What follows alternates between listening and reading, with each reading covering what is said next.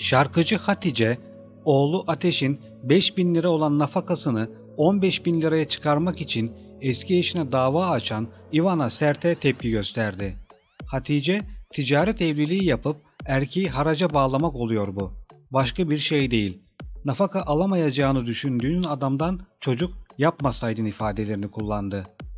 Ivana Sert, geçtiğimiz günlerde velayeti kendisinde olan oğlu Ateş'e verdiği nafakayı arttırması için eski eşi Yurdal Sert'e dava açtı. Sert, eski eşimin maddi durumu Türkiye şartlarının çok üstünde olmasına rağmen çocuğa ödediği nafaka yetersizdir diyerek oğlunun 5 bin lira olan nafakasının 15 bin liraya çıkarılmasını istedi. Şarkıcı Hatice ise Ivana Sert'i şu sözlerle eleştirdi. Bu ticaret evliliği yapıp sonra haraca bağlamak başka bir şey değil. Nafaka alamayacağını düşündüğün adama çocuk yapmayacaksın o zaman diyerek sert olarak tepki gösterdi.